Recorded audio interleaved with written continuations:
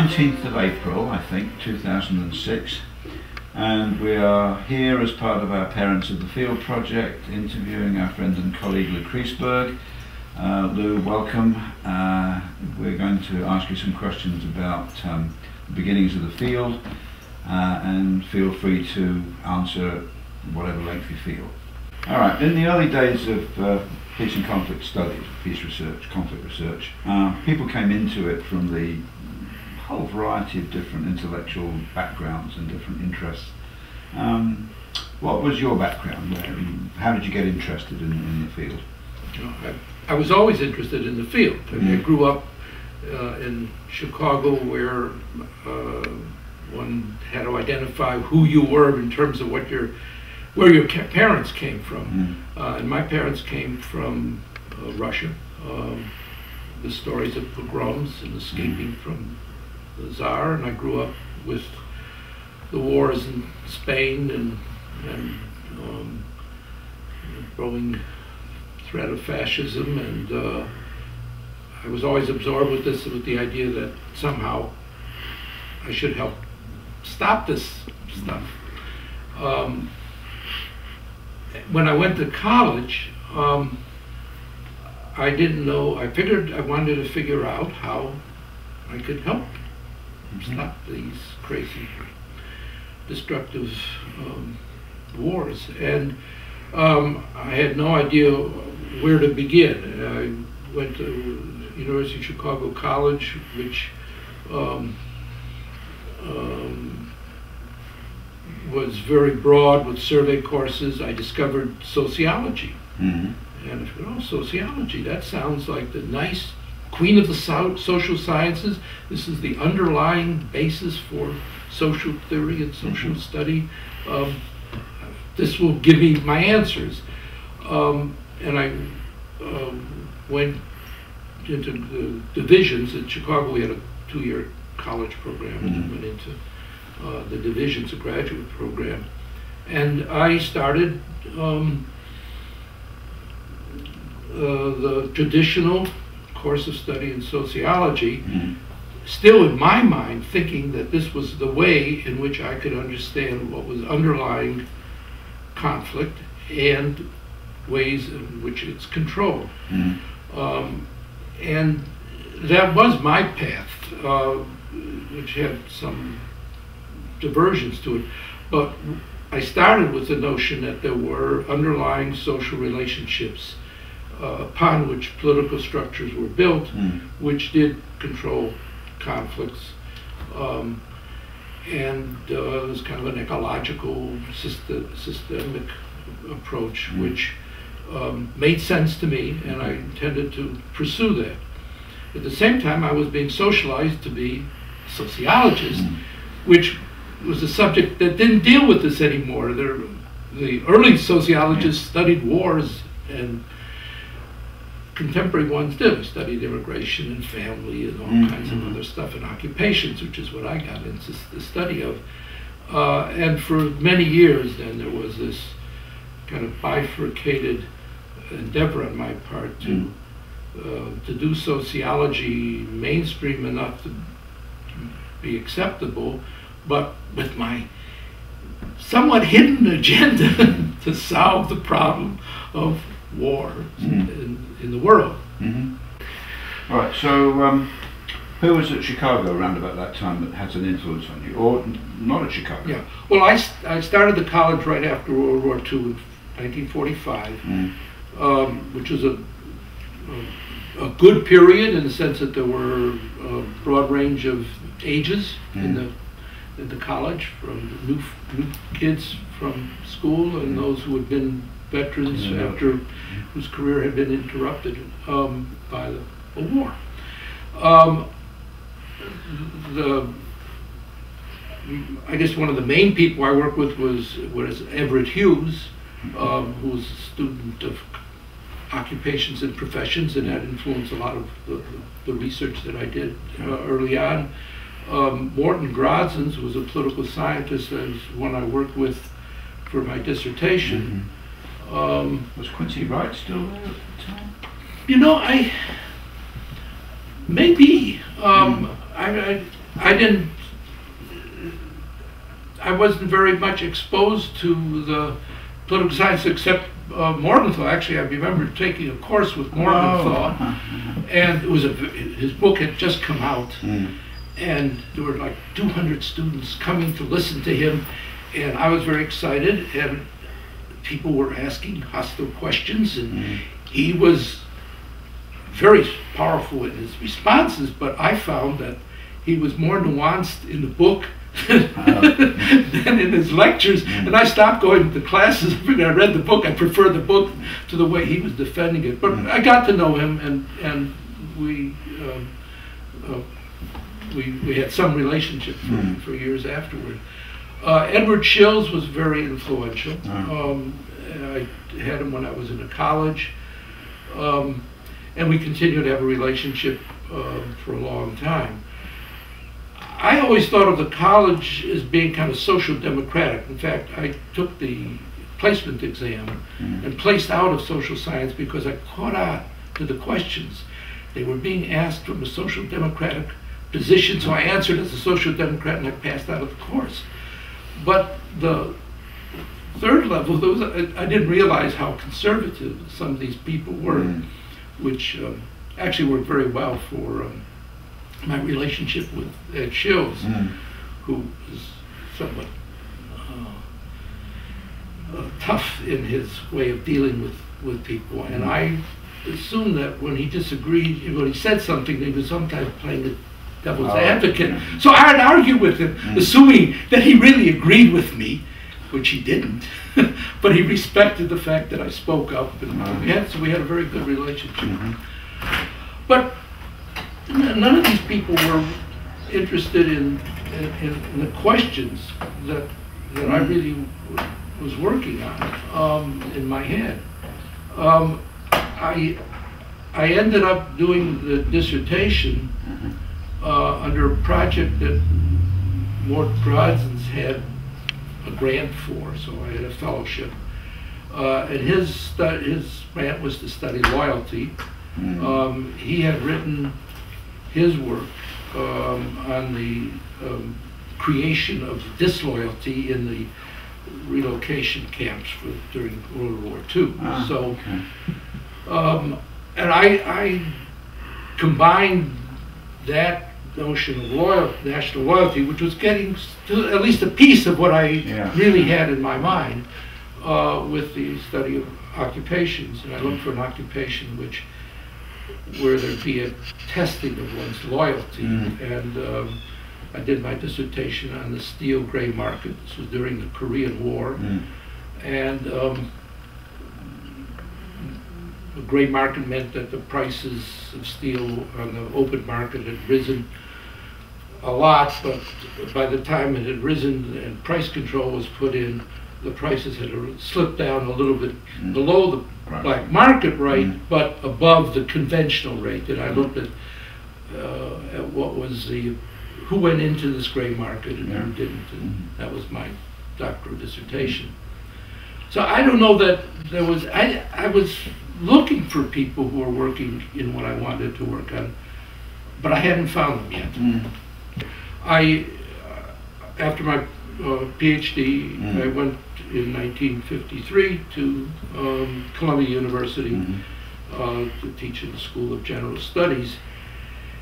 And I was still trying to, you know, have a, um, a mainstream career at the same time that I was trying to advance my agenda. Mm. Um, when I was there, I began doing, I was going to do some study on the UN Secretariat, and I started interviewing people on the Mm. Secretariat, but I never published anything from Yeah. that work, um, but I learned something. Um, but I worked, I actually, I, I worked in the summer at Bureau of Applied Social Research, and they had a grant for um, community conflict.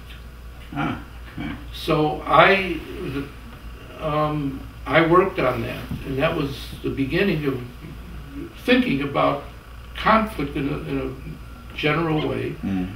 Um, I floundered in that project um, I, it was, you know, I was very young and I wanted to put a lot of stuff in and it didn't have the nice sharpness that was needed. And Jim Coleman, who was um, older than I and more experienced at the Bureau of Applied Social Research, but still, I think at that point he didn't have his PhD yet. He took my manuscript and turned it into Community Conflict, which he published.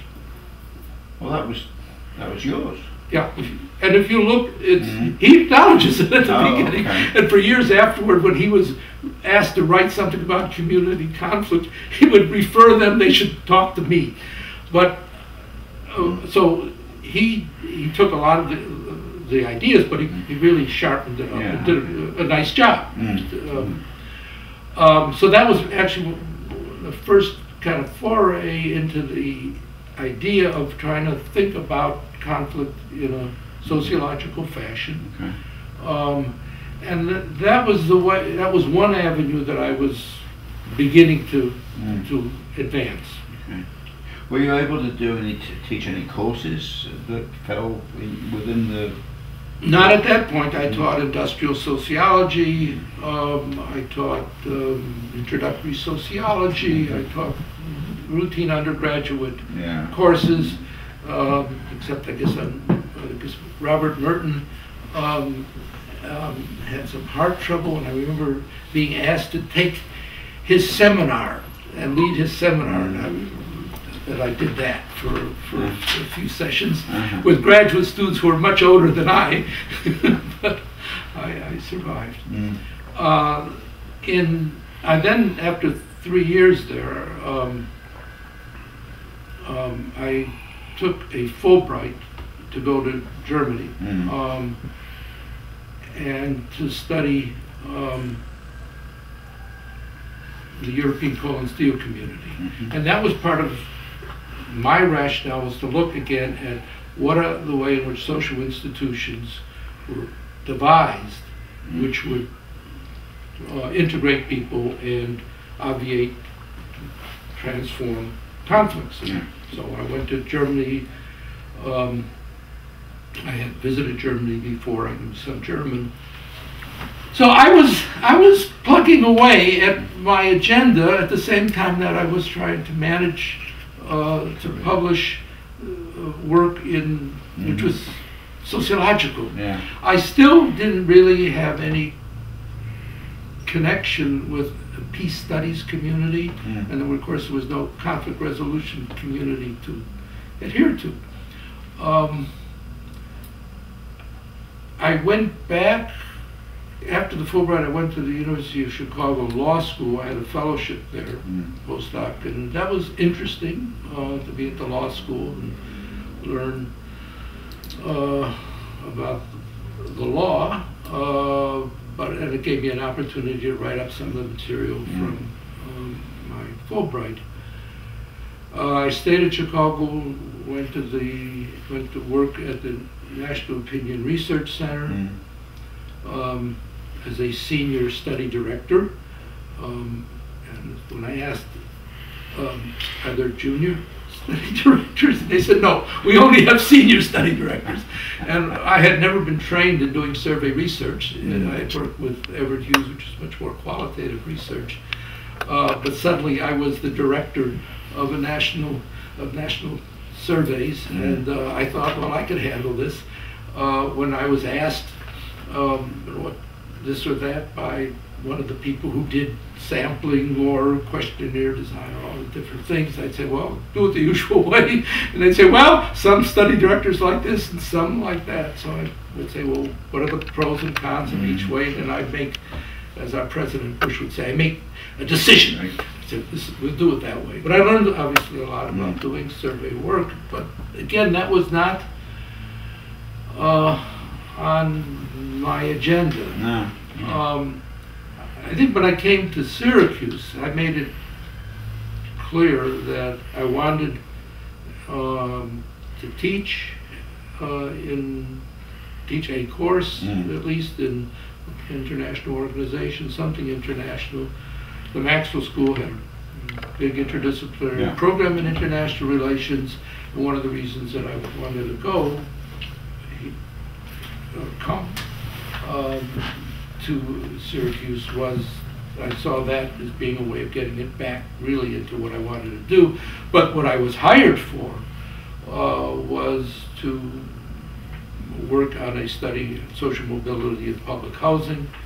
I published Mm. Mothers uh, in Poverty um, uh, from that work. Mm.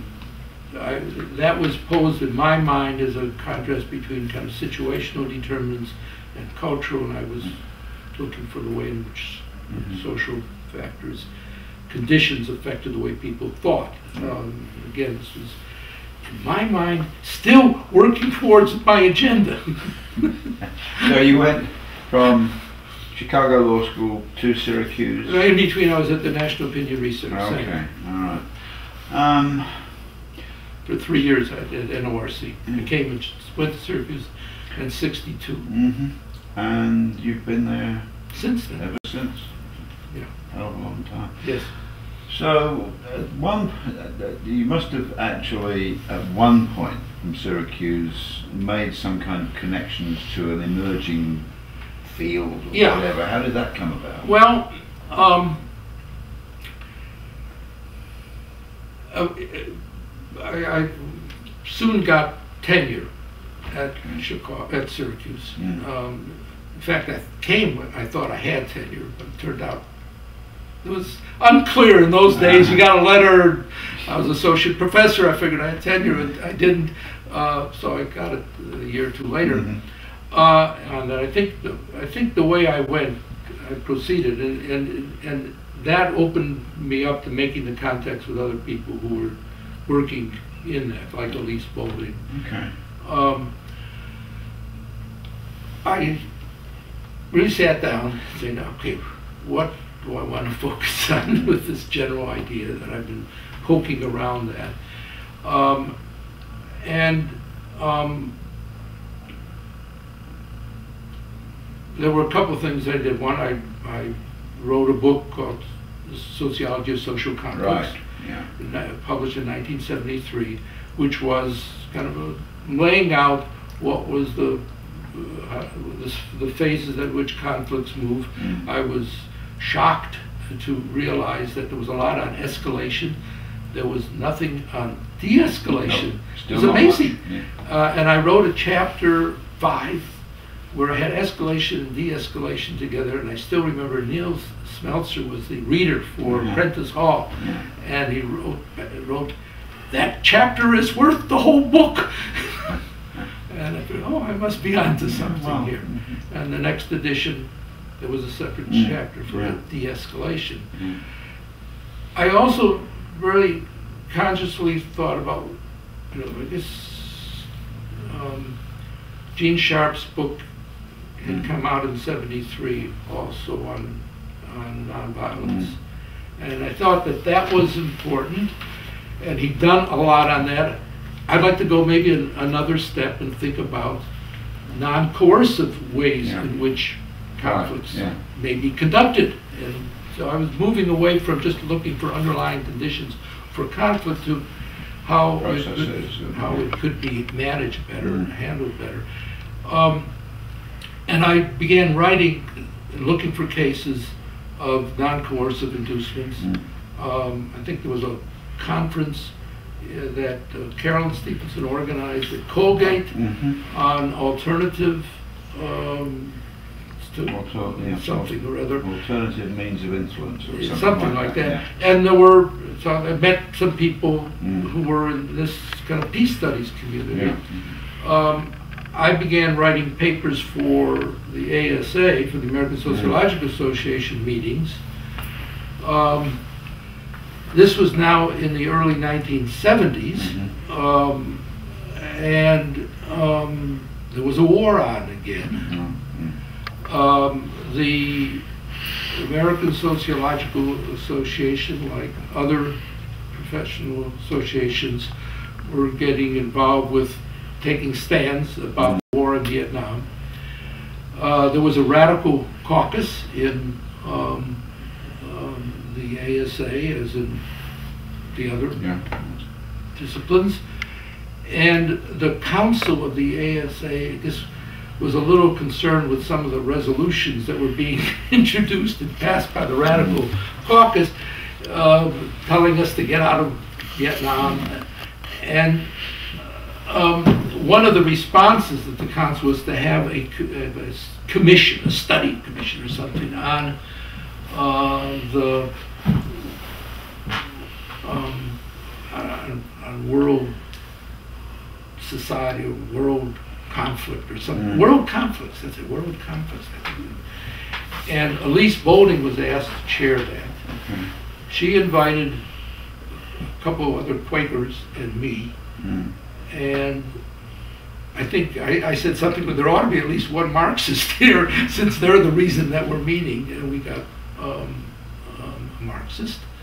Um, and that began to be a group now that I could begin to feel that I was not alone. Mm. When I began giving papers at the ASA about pieces of my emerging research, um, there would be some people who would say, "That's very nice, Louis," or Lou, whatever they called me at that point. Depends when they knew me. Mm. Um, I can't do that. It's good that you're doing it. And I thought, oh my God, you, you know, it's like, well, it's nice that we have a saint or two around. Makes us all feel good, but I'm not going to do that. So there wasn't a strong strand in the ASA at that point that were at all interested in sociology. No, there was this world conflict, world Yeah. stuff, which, but was it was small. And and then after a couple years, Mm. the council said you can't go on with this. Either you're a section or you go away. And I said, all right, we'll be a section. Uh, And we formed a section Uh-huh. um, on on um, international Mm. conflict, Okay. Peace and war, Mm. which still exists. Yeah.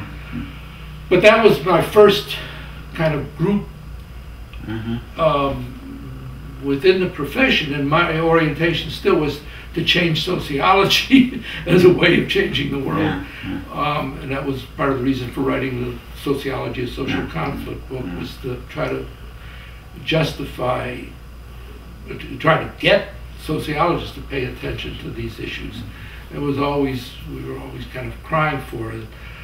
Um, and I just continued, by now I was just doing, I was teaching my course, Mhm. and I began teaching a graduate course in social conflict theory, uh, an undergraduate course in international conflict, Mm. um, and began doing some cases, some survey work. I Mhm. did um, secondary analysis of, of material on public opinion towards arms Mm. uh, spending.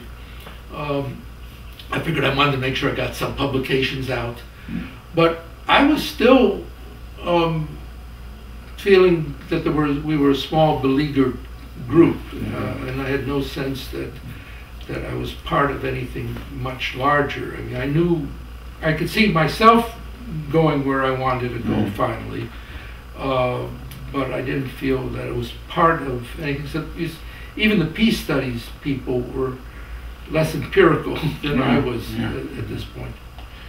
Well, I mean, it- it- there's always been this sort of division, uh, I think it's still there, between you know, studying conflict and means of handling conflict and, and peace studies or peace Yes. research. Was there, did, we, did you become very conscious of that and did it mean anything to you? Well, I guess not yet. I mean, Mhm. I, um, um, when I was, no, I, I didn't know about peace research in Europe yet. Mhm. I, I went in 1973 or I guess 73. I think I went to German. I went to Strasbourg Mm. for a semester to teach at the Syracuse University um, program there. Yeah, in Strasbourg. Yeah. And I spent a lot of time when I was in Strasbourg, in Frankfurt. Uh, uh, you had a It's the only way to get to Strasbourg, unless you want to go through Paris, which is a little further. Uh, so I got to know the Hessische Stiftung, the Mhm. people there. Yeah. Um, I went around France looking for conflict resolution work and peace work, and of course they say, "La paix c'est communiste," and they don't believe it. But anyway, I found it wasn't anything. But I began to discover the German work Yeah. um, and the, the British work. Um, but by then, um, somehow or other, I was, I'm not sure how I began to know about some of, you know, like Herb Kelman's work and Mhm. began to be aware that there was, well, there was a Journal of Conflict Resolution, which I was reading, the Journal of Peace Research. So I was reading these journals Mm. now. Um, and, um, and really beginning uh, to see that my work was part of this larger field that I had been not pers- interpersonally Mm. connected, but gradually now beginning to. I began to go to the International Studies Association, Ah, I was going to ask about that. Yeah. and that was very exciting. Mm. Um, and um, there was a peace studies section there, Mm. which I got to know, and that became my base when I first started going to the ISA meetings. Um, the um, um, I was didn't know people there. I knew people in sociology. I was Mm. very active professionally. Yeah. Uh, the I was president of the Society for the Study of Social Problems in 73, 74. No, that was the Journal of Social Issues was their organ, Yeah. wasn't it? Yeah. Okay. Uh, That social problems, no, social, Social problems. problems. Okay. Yeah. Social issues is psychology. That's right. Yes. Um, so, um, the, um, I, I- the, when I, when I first started going to the ISA meetings, I went to uh, military intelligence sessions and so on. I thought, well, this is all very interesting. This is now in the, in the early eighties, Yeah. late seventies, early eighties. And then I, um, found there was a peace study section, started going to that, became part of that. Mm. Elise Boulding told me I should join COPRED, I should join IPRA. so I said, yes, did? I did. I joined COPRED, I joined IPRA. Uh, so I started, I found that there was a community that um, I could be part of, and that was, that was very exciting. Mm. When I started going to the IPRA meetings, and um, by then, conflict resolution, I guess the conflict resolution involved was, it was in the mid 80s. We got our grant at Syracuse in 1986. Mm. Two or three Hewlett. years before that, Yeah. um, we had started, a, I had a group there um, um, where we did, um, we're trying to get some grants Mhm. on um, US-Soviet relations. And then th- there was also the connection for me that was important, um, was with the program uh, Nonviolent Conflict and Change at Syracuse. In 1970, when the students occupied uh, Syracuse University, as they Mhm. did many other campuses across the country, the students demanded that they be taught nonviolence. And obedient faculty as we were, we, as administration, we said, yes, yes, of course. Mhm. And that summer, there were dozens of courses on nonviolence which were organized. Yeah. Um, the administration brought in somebody to head up a program, undergraduate program in nonviolence. And uh, somebody was brought in, and that next year there were uh, a zillion courses, uh, countercultural type courses Mhm. taught by people from the community as well as everything else. And administration was not very happy with that. Uh, But, but and- some of them must. Have, some of them survived. Yeah. well, Neil Katz was yeah, brought in. of course, Neil. And Neil came in, um, and um, we got into being teaching courses in um, nonviolent social Mhm. movements, Yeah. which is what his interest was at the time. Mm.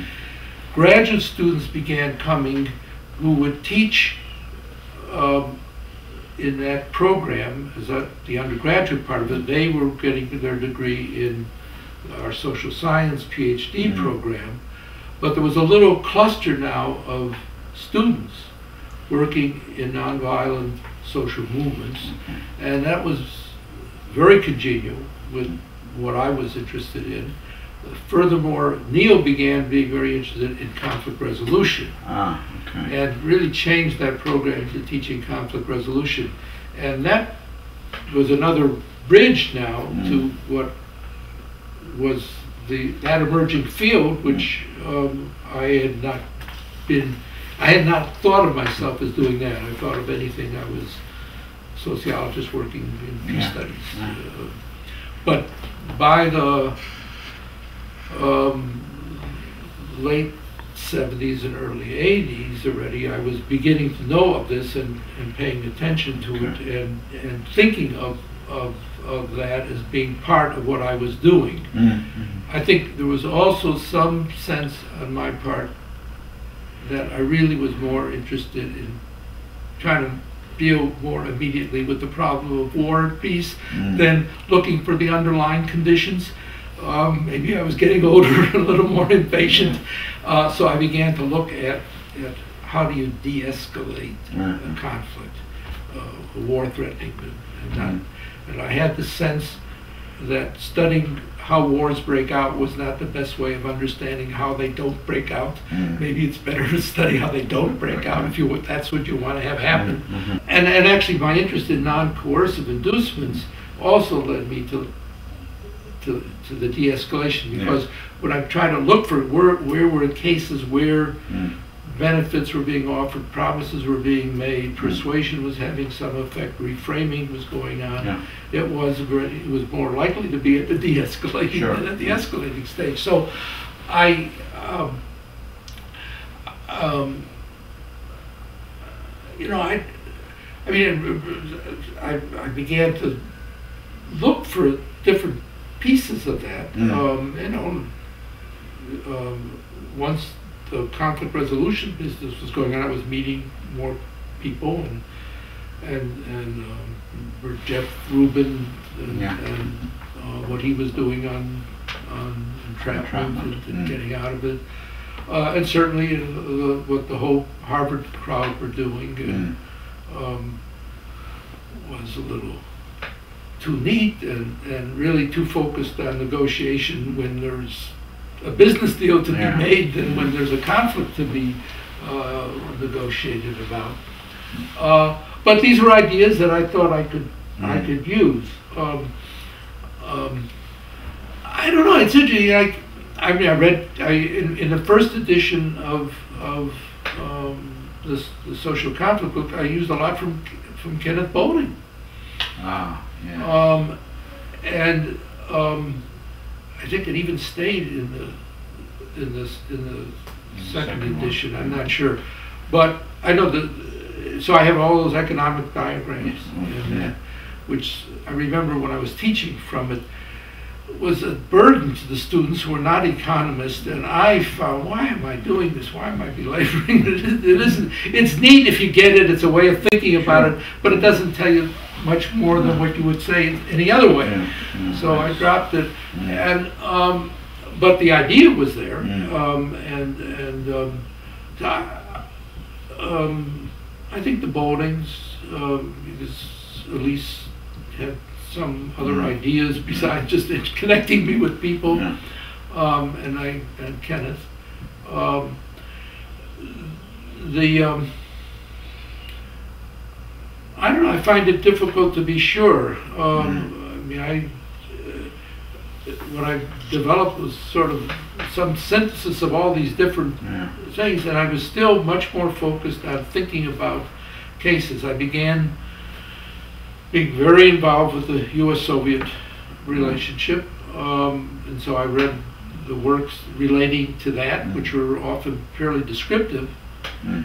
Uh, but there were analyses. Um, I began getting involved with the Israeli-Palestinian, Israeli-Arab earlier uh, case, partly fortuitously. Um, I'm Jewish, but as a as a youth, I was not a Zionist. I still remember in high school somebody saying, and I went to a high school which was um, largely Jewish, Mm. uh, though I lived in a non-Jewish neighborhood, which was part of my upbringing of um, being very conscious of ethnicity as Hmm. a source of conflict.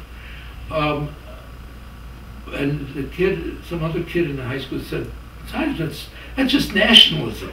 And I knew nationalism was not a good thing, it was dangerous. Ah, yeah. um, but I did go to some Zionist Mm. organizations, I think more because I was interested in a particular girl who was active in one of, one Well, of the very, organizations. very influential. Very yes. influential. That was where my interest in Africa came from.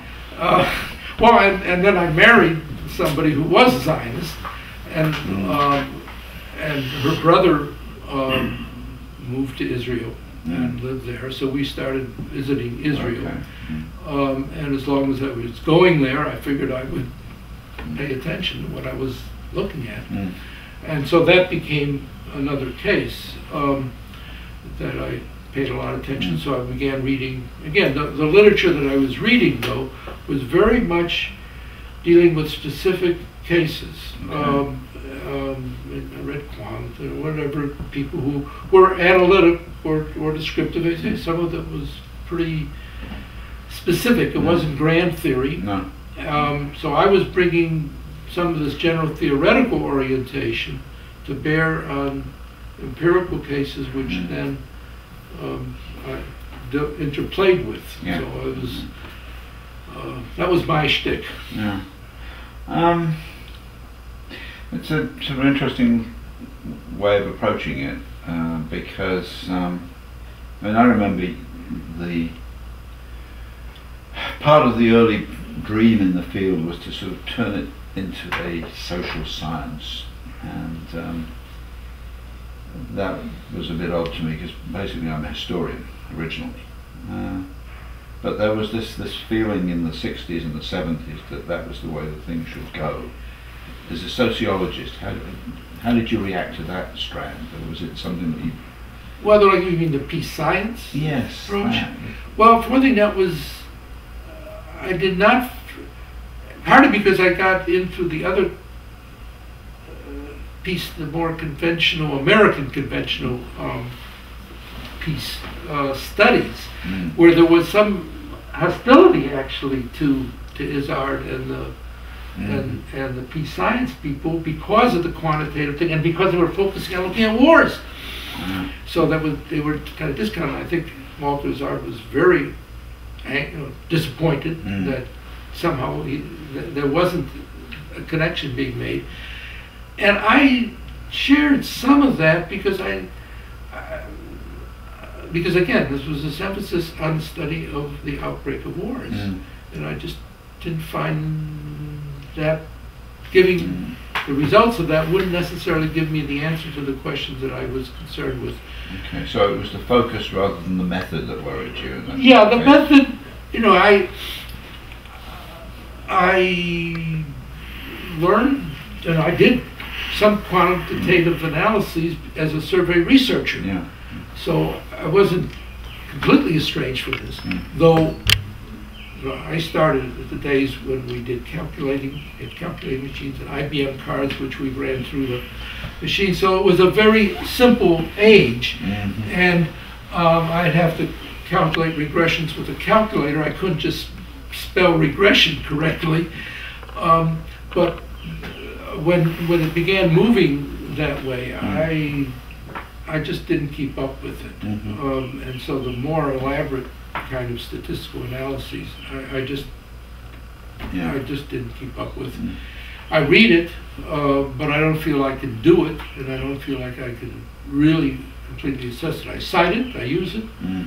uh, but it's not the kind of thing that I can do myself. The other thing about the field as it you know, gradually evolved and came together was it's always had this um, uh, desire, commitment to being practical and Mhm. applied and Yeah. and to uh, have an effect. Do you think it's um, managed to do that at all? I mean, you you've done some of that work Yeah. yourself. Well, one of the things that came out of my interest in social movements, um, and there's that other whole body of work that I did, I forgot to mention, that was uh, done in the early 1970s, I began doing work on international non-governmental organizations. I coded um, the, actually that was some of the first work I started to do when I got, got to Syracuse. I got some grants from the university to, to code material from the International Yearbook and um, of international associations. Um, I did a number of articles, um, and that was by looking at the way in which that was still kind of the sub culture, sub uh, the s- societal basic social processes, which again would be underlying Mm. whatever the institutional structure may be. But it, partly again, being a sociologist, I was looking at the level of popular participation and not just what the elites Uh-huh. decided and how the elites behaved, uh, rationally calculating what was good in the national interest. Mhm. I mean, that was not my way of thinking. Uh, I was never, I would never reify a, a society and say it it thinks. Yeah. No, it doesn't think. There are people who claim to represent, who say such and such, Sometimes. who are expressing their interests, not necessarily the interests of other people and so on.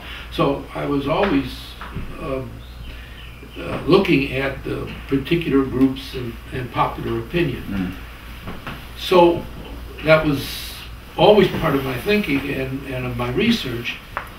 And so when you ask about applied, I think of the applications by non-governmental actors as well as governmental actors. And I think the, the actions that I've been more involved with in many ways have been in relationship to the non-governmental actors than with the elites. Mm. Um, people sometimes ask me, so what, what have you, what, have you, have you, have you really done it? You know, have you influenced anybody? And they mean, you know, people, the president. Sure. And I say, no. But Mm. there are you know, organizations where they have some influence. Mm. I was very moved. I just was in Portland to um, um, participate in a um, um, international affairs symposium that is run annually there. Was on identities. and It's run by the students. They invited me and Mhm. various other people. Um, paired me off with Robert D. Kaplan, which was to be a debate, wasn't a debate. But in any case, I went to Portland. Mm. I decided that um, I would, I had a little time in the morning. I would look up some people at Portland State where there's a conflict resolution program. I knew Harry Anastasiou and saw him. Mm. And then I also realized that Tom Hastings, who I didn't know, who's written on, on nonviolence, he wrote a book recently on Mm. nonviolence and terrorism, uh, was teaching, and he's active in the in the Peace and Justice Studies Association, which came from the wedding of mating of Copred and uh, the Peace Studies That's- Association, yes, that's which I also was a member of for a while. It was a remarriage, wasn't it? Well, they? it's, well, there was a, the, I, the Peace Studies Association broke off from, Yeah. um, from Copred. I was involved that early stage uh, with, with Nigel and others. Mhm. Anyway, so I emailed Tom Hastings that I was coming, Mm. I'd like to meet him. He emailed back very enthusiastically that, uh, and it turns out he's a peace activist Mm. um, um, and uses, it teaches in the, in the program there, uses my constructive conflicts book, Mm. um, thinks it's wonderful, thinks that it has helped organize his thinking about peace activism, how to be effective, how to, how to do it, and it tells me that I, that my thinking about this has influenced him and, and the whole Portland peace movement, which is Mm. very active. They, Nice. they just got a, message that they sat in at Senator Wyden's office. They'd gotten Senator Wyden, or at least influenced Senator Wyden to vote against the Iraq War resolution initially. So, in terms of application, that is another kind of application. Um, I think the conflict resolution um, approach, the, the research, the way of thinking, has given a kind of credibility to a lot of peace movement activity Mm. and, and to peace studies that it didn't have. It gives it a kind of a, a sense of a tool to work with Mm. uh, that gives more credibility and less naivete Mm. uh, that otherwise the, the movement suffered from. Say a little bit about the way in which the um, uh, activities at the Maxwell School chimed in with your own sort of wish to develop your own ideas about peace and war. Okay. Well, one thing about the Maxwell School, which I consider the graduate school of the social sciences, some people think it's a school of public administration, but that's only one piece of the Maxwell School. It is very interdisciplinary. Mm. Um, and from the beginning that I was there, I was first in a research unit, which was interdisciplinary, but then always being involved with the international relations program, there were people that I knew in political science, um, anthropology, um, uh, even economics, Mm. um, and ge- certainly geography, which is very strong there. And that was congenial Mm. um, for establishing a field of, of conflict analysis and resolution. And um, the it allowed me to to um, work with people who had more of the same substantive interest, even if they had a different kind of theoretical approach towards it. Um, and indeed, we st- it started before we got um, the uh, Hewlett grant in '86. Um, uh, there was a, several of us who were meeting um, to make a grant proposal on terms of research on U.S.-Soviet relations. now as an interdisciplinary group.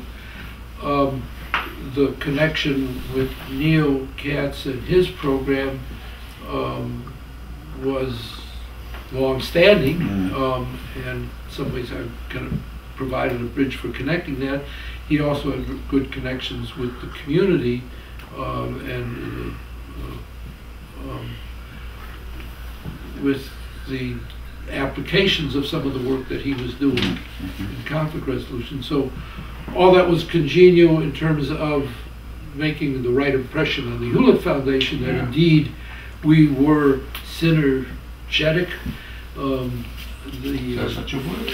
no, I just made it up. Oh, okay. But the way it's usually used by the, um, um, uh, by, uh, let's say, who was the initial um, program officer from Hewlett, uh, Bob, Oh, yeah. um, his name will come.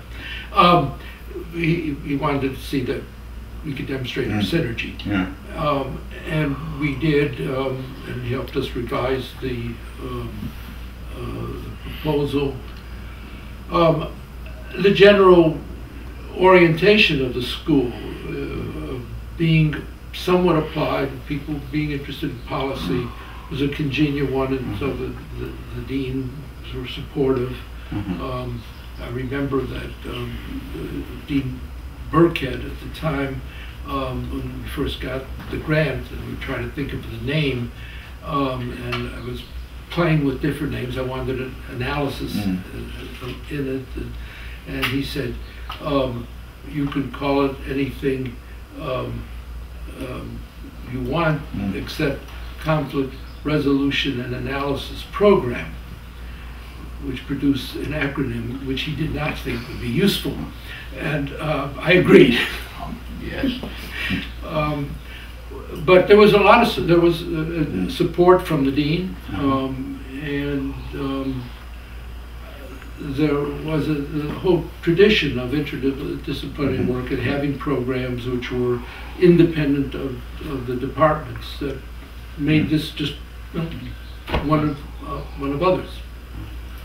You used the phrase about uh, about the school that it was somewhat practical, and this is something that you could perhaps apply to the whole field. It's always tried to be somewhat practical. Uh, do you think it succeeded in, in, in being practical and useful? Uh, that was always something that the Bouldings were very interested in, in doing. It goes back to Kurt Lewin, I guess, Yeah. practical theorists. What do you Well, I think certainly, um, uh, well, certainly the area of, of ADR and Mhm. all the community dispute resolution centers that have, have grown up, Mm, um, and increasingly in applications in, in schools, how many schools have peer mediation, yeah. um, the uh, development uh, in the environmental area um, has been really very impressive. Mm. And um, what Larry Susskind has done, but what, what goes on, Rosemary O'Leary at Syracuse um, has done the work on the EPA and its Mm, um, negotiated regulations. Uh, All that um, is very much, you know, applying the theory and changing the theory in terms of the experience and the applications. It, uh, It is very much um, the way in which the field has grown. I, I think it's led to a kind of disjunction Mm. um, between some of the grand theory of conflict resolution and what people really do. mhm, Um, and that's, I think, troubling to me, and I try to push uh, about that. I think some of you know, what John Burton was was doing in the theory is really, in some ways, not very connected to the practice, Mm. and I think that's true for a, a, a lot of what goes on mm, um, uh, the, because the, the theory maybe is dealing with underlying needs or underlying this, and, and the practice is um, a, a workshop. mm, Um, and the way in which to make that link between these things is not really given enough attention. mhm, Um, and, and what's most troubling to me about some of this is that conflict resolution is so much reduced to negotiation and mediation. And, you know, people will say conflict resolution is third-party intervention. It's what I do. Uh, and I find that um, misleading about what the field really is. yeah, I mean, a lot of what people do when they're even in, in the practitioner role is being a consultant, um, a, uh, an advisor, mm, uh, because they do have a bigger conception of it and they are communicating some of that. But that isn't what they really do as conflict resolution. It's when they have a workshop is when they're doing Yeah. it. And I don't, you know, I think that it is recognizing the larger forces that really uh, the workshops are embedded in, and if they're not embedded in it, they don't happen. They're, they're, they seem to fail because they're not part of a larger social movement, uh, in terms of larger social changes mm, uh, that are less manipulable, but unless you pay attention to them, um, you can be misled. I think there is, even at one level, this wonderful interaction between theory and practice, but it's at a, at a, at a kind of a minuscule level compared to the grander theory, mm, which also is, is taught and, go, and goes on, but it still remains unconnected because uh, un, this the, the lack of attention to the linkages that need to be worked on, and that some of us do do. mm, yeah. Um, the, the part of the problem seems to me uh, to be the, the, the, the very thing that you put your finger on.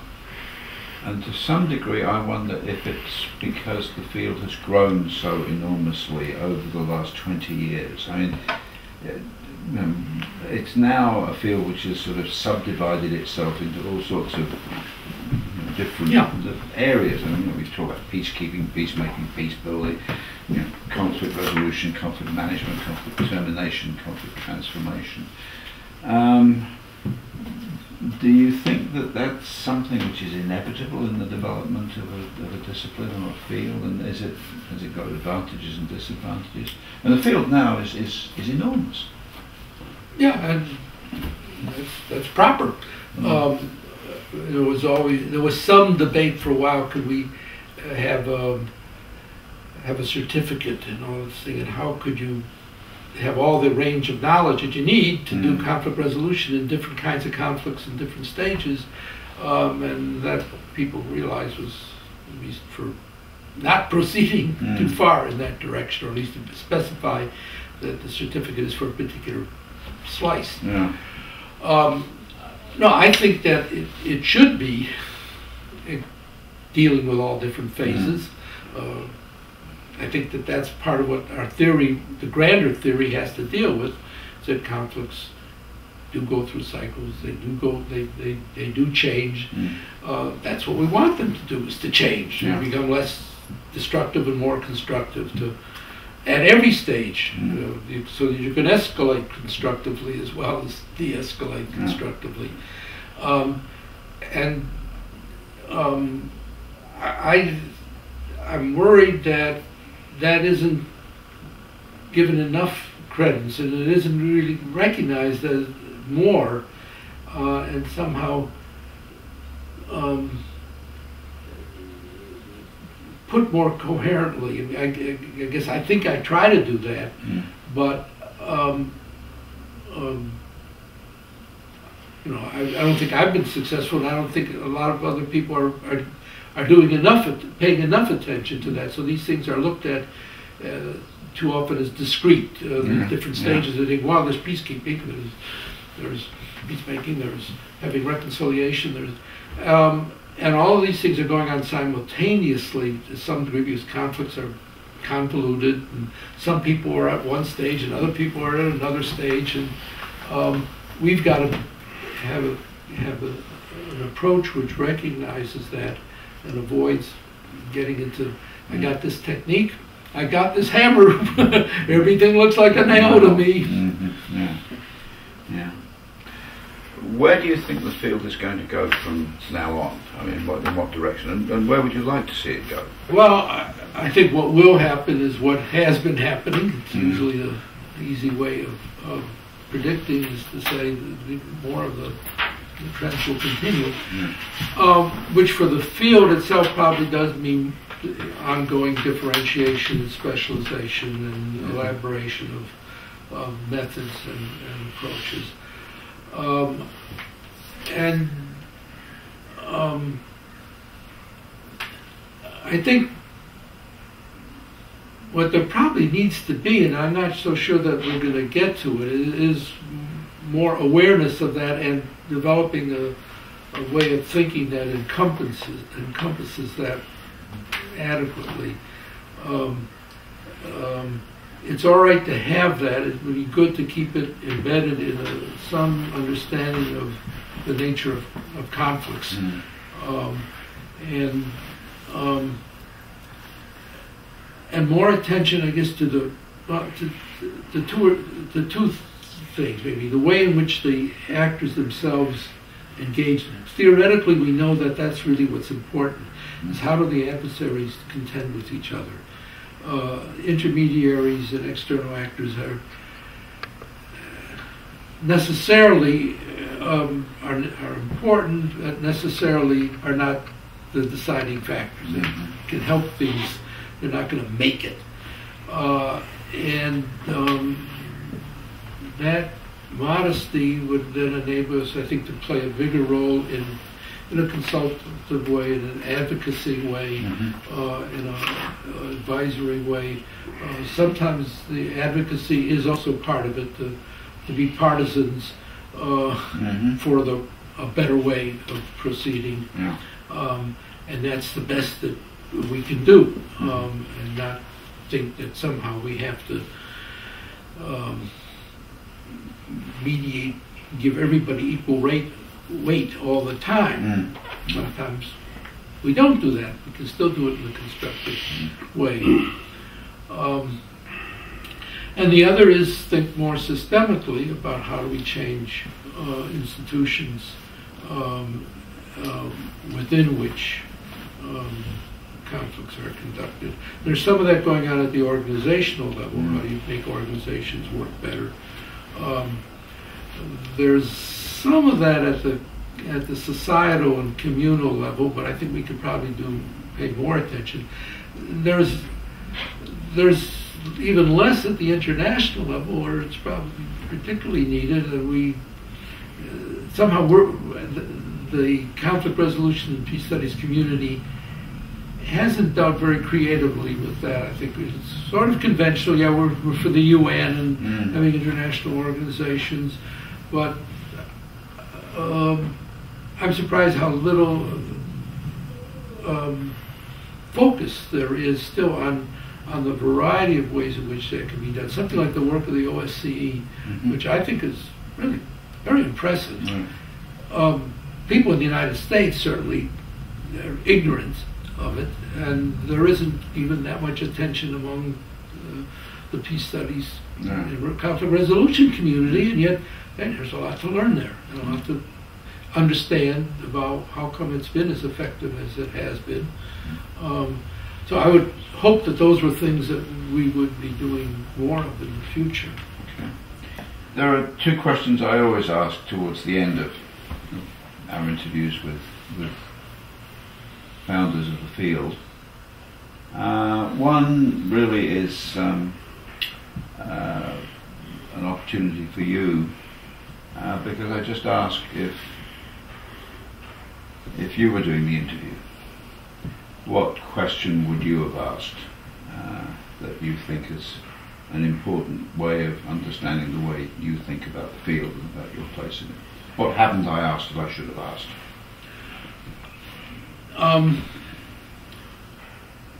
well, I, I suppose it's, I think it's interesting to, to, to, pose questions about the intellectual origins and, Mm.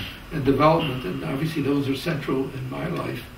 Um, but I guess um, I'm aware of, of some of the non-intellectual Mhm.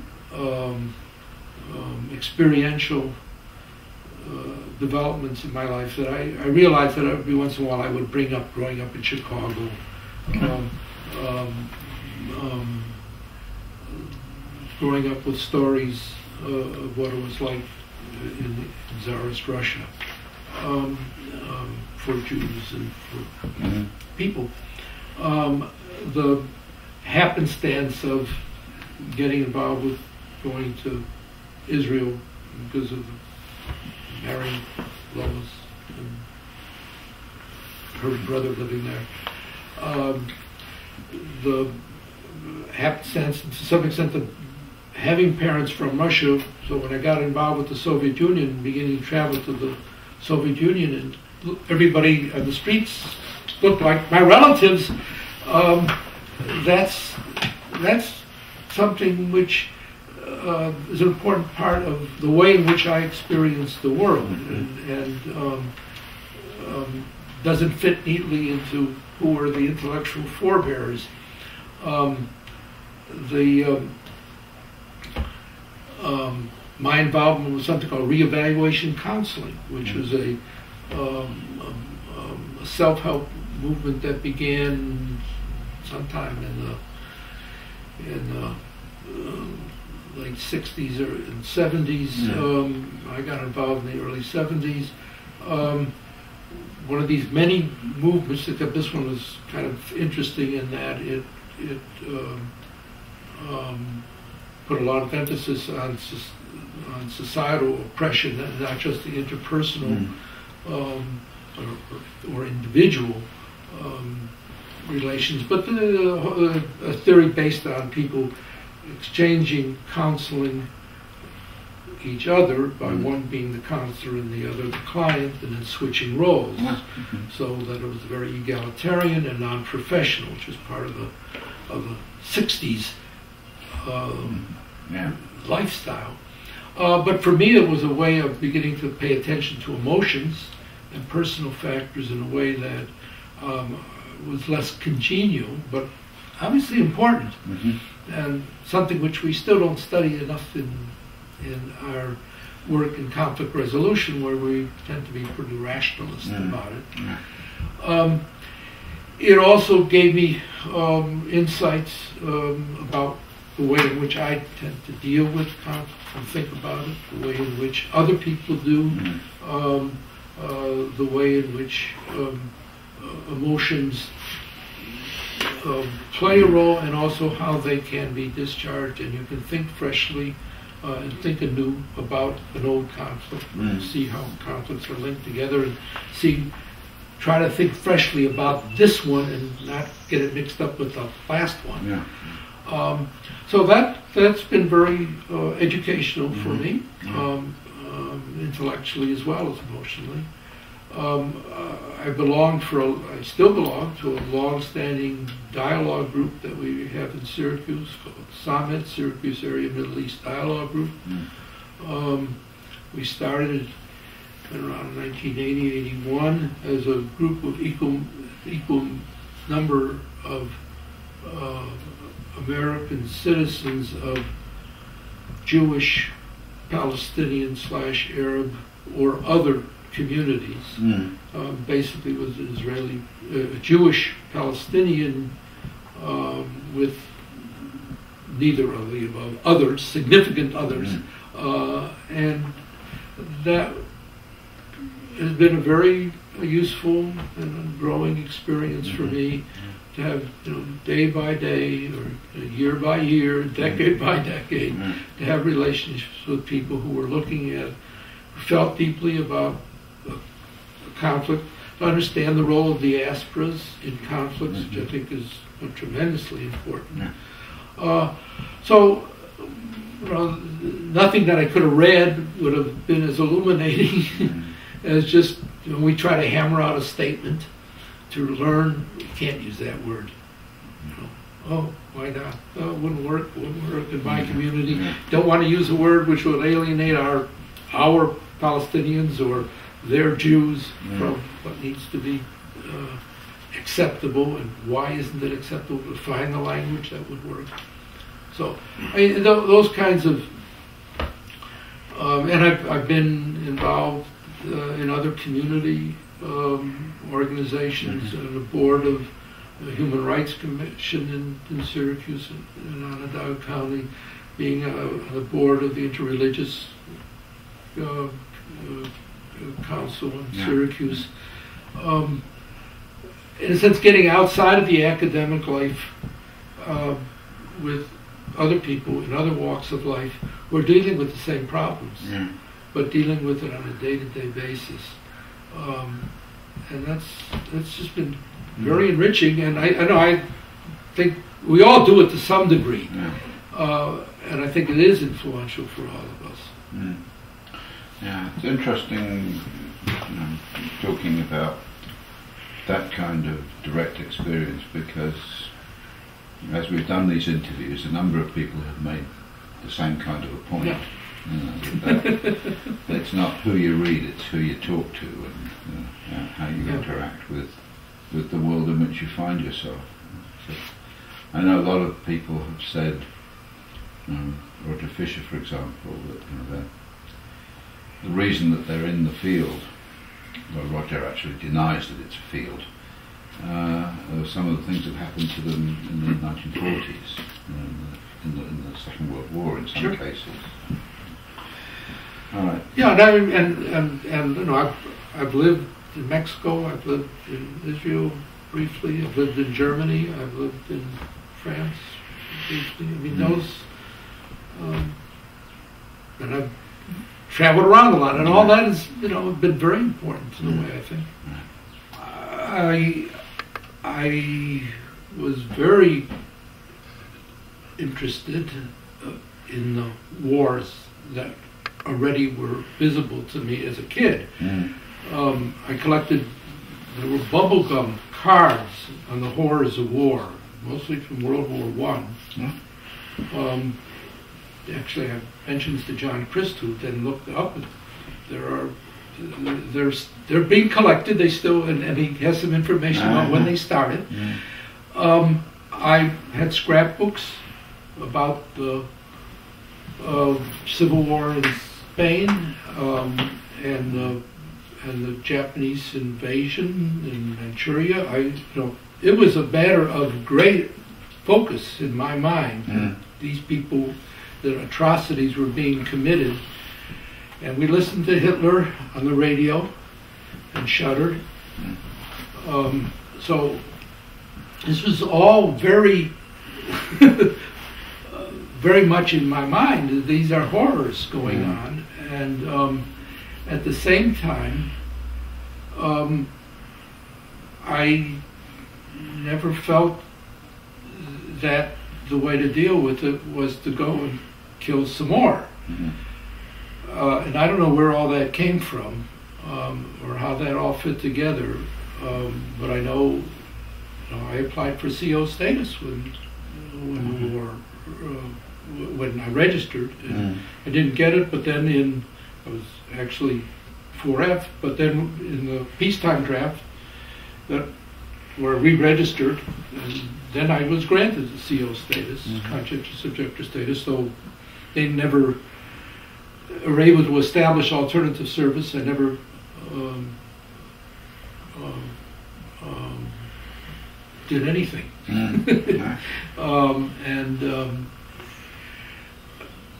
and there was always some tension about this, certainly in my mind, um, about my own personal way of wanting to deal and what was possible. Mm.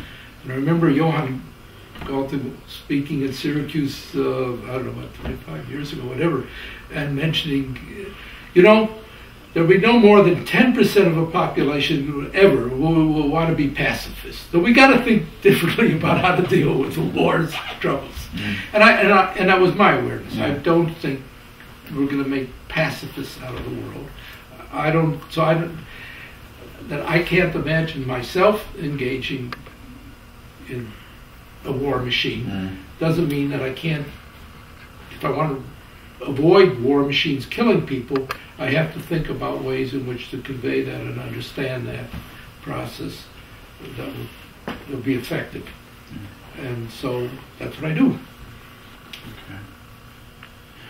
Um, still thinking back a few years now, one of the other things you said was that um, you got reactions saying, good on you, Lou, you know, but I'm glad you're doing it and not me. And there's this whole business that we keep coming across of the difficulty of getting conflict analysis, peace studies accepted. There was this sort of um, unwillingness to uh, to sort of allow that it was a legitimate Yeah. study. There was something slightly suspicious about it.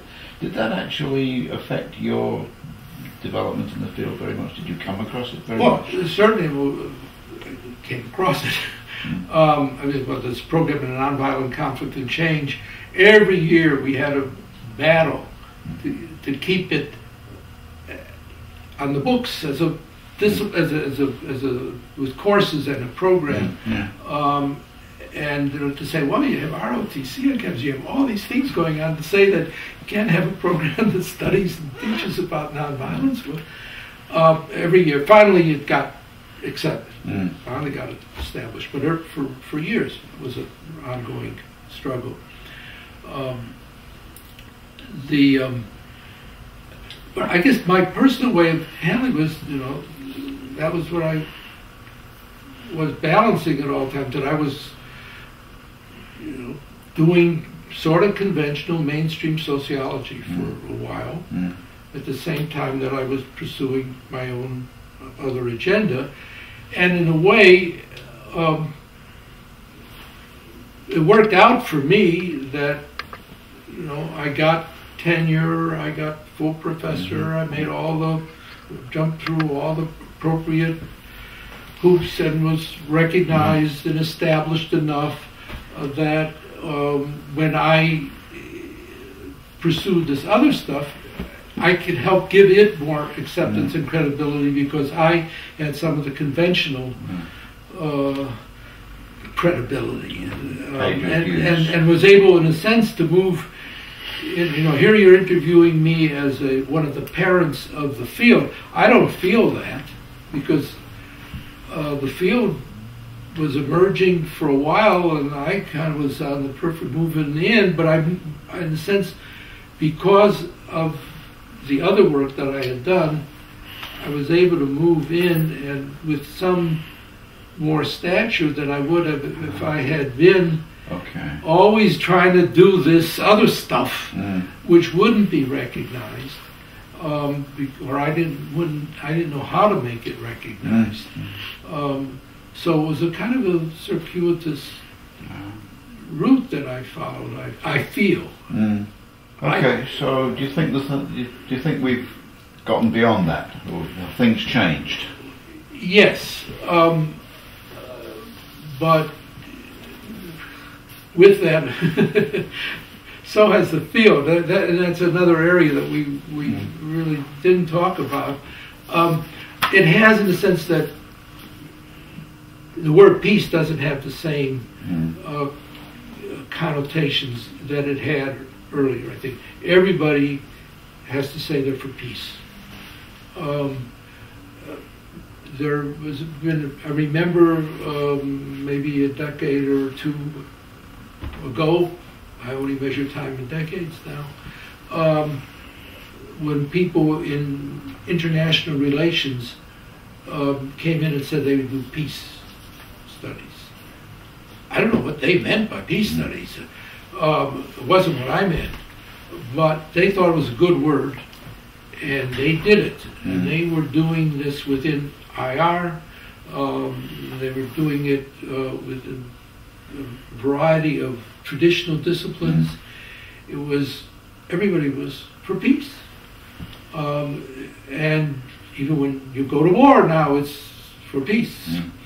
Um, so there is some more acceptance, and and what has also begun to happen, which leads to some confusion, I think, is the, the one of the arenas which has really grown a lot in the community of conflict resolution and peace studies work is what's called post-conflict, Mm. misno misnamed because it's Sure. post-violence, Right. post-killing, uh, post-mass crimes.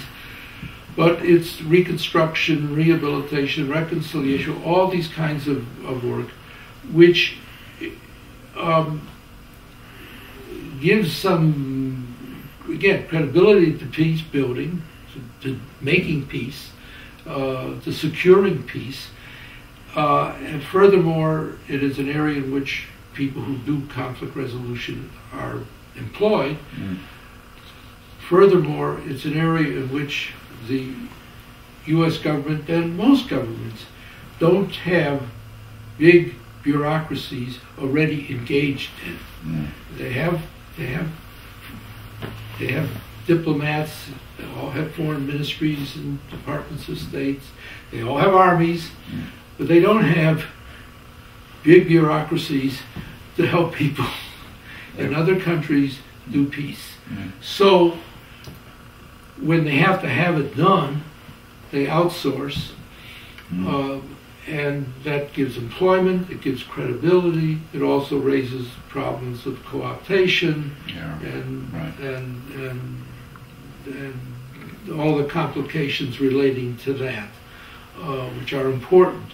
But yeah, the field has changed because of this, and the and and the problems are different. The problems are not so much getting a hearing, but getting understood and accepted for what you think, not what how they want to use it. Yeah.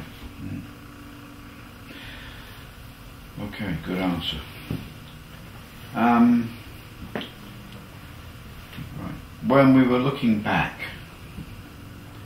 um, you had a whole list of things that you thought uh, in the out of the 30, 40 odd years that the field has been gradually developing were commendable and optimistic things.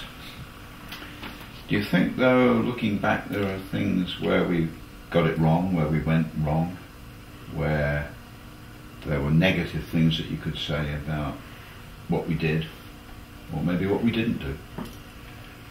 Well, um,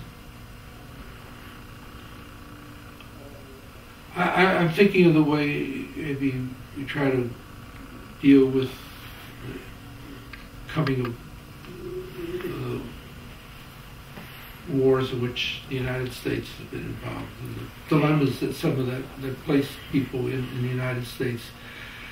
Um, we, I don't think whoever we are have got that all figured out. Mm. Um, um, there was certainly um, um, disagreements about whether or not, under what circumstances of military engagement Mm. and intervention to stop a genocide or to stop mass murder uh, was an appropriate action. Mm. Um, there's not, and, and we should really think and talk about that a lot more and try to be more forthright about it Mhm. and not just avert our eyes, Mm. um, nor just kind of uh, in a knee reflex say, don't do that. Uh, but to really think about what the alternatives Mm. were and are. I mean, that's what I said I was starting to try to work on, and I found it's really very difficult. Mm. There are real, really hard things out there, and what is the best thing to do in what time scale? Yeah. By whom? Um, and we we don't face up to, to that. I think it's sometimes just saying, don't do that. That's bad. You say, yeah, but what should we do? What else do do? There's a real problem. Yeah. And, and, and uh, you say, and I used to say, well, you should have asked me 10 years earlier. Then I would have told you. uh, and you know, there's something to that, but not enough. I think you have to figure out um, more, more immediately, as well as, okay, so now, looking at now, what should we be doing to avoid what catastrophe five years from now? Yeah. Mm. start now. What should we be doing? Um, and who is the we? I mean, it's one. I think we should pay more attention to the, the, the existing non-governmental organizations which are doing good works, which we don't count in the community. I think of the of uh, the Rotaries International. Oh, yeah. Um, and there are a lot of uh, these organizations in the U.S. and there are in other countries, religious organizations, fraternal organizations, which have uh, student exchanges, um, which have, uh, have all kinds of activities. That, you know, could we work with them better? Yeah. um, couldn't we, I think, as I was saying earlier about, we shouldn't define what we're doing as a workshop which we organize, or, uh, but how do you see that as part of a larger social movement? Because unless it's part of a larger social movement, it will not have an effect. If it is, it will be a contributory to that. And I think to be engaged in some of the um, advisory, I don't know, some engagement with recognition of the work of ongoing um, transnational NGOs and U.S.-based NGOs, Mm. British-based NGOs. Um, really, not, not the ones who label themselves as conflict resolution, No. but those who are doing things Okay. which are long run or Yeah. short run. Humanitarian aid, development, Yeah. that sort of thing. Yeah. Please. All right, we talked a little bit about the field being sort of interdisciplinary as though it's obviously an advantage, but are there some disadvantages to having a field which in some cases borrows ideas from everywhere so that it sort of doesn't fit into the normal disciplines of the social sciences, so that in a sense we're uh, not exactly something which doesn't fit at all, but um, that there are there's a downside to being interdisciplinary. Um, would you think that that's uh, a problem? I will come squarely down on both sides, I guess.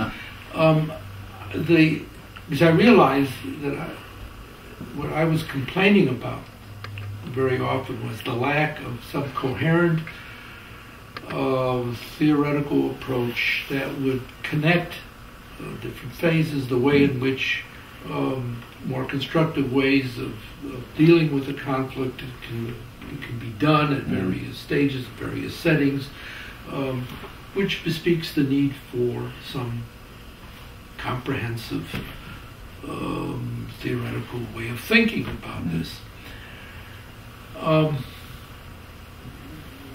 On the other hand, I'll get back to this somehow or other, but you can say on the other hand, you know, I don't see that we have that. I don't think it's probably realizable mm-hmm. for all different kinds of conflicts.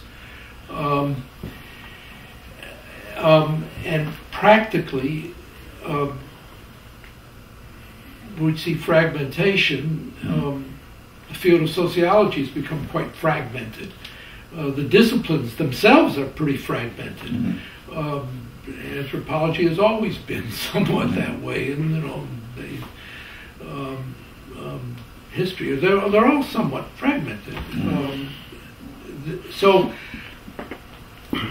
Um, in practicality, it's not likely to uh, to happen. And in terms of the of the training and the education, um, I know there's there's always been this difference between the George Mason model and, mm-hmm. and approach and say what we did at Syracuse, mm-hmm. and I explain it largely on historical and institutional grounds. Yeah. It made sense for George Mason.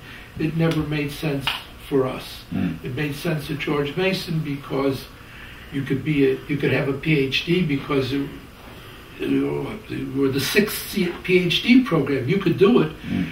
If, at Syracuse, we couldn't do it without a huge amount of work because we would be competing with all the mm. existing PhD yeah. programs.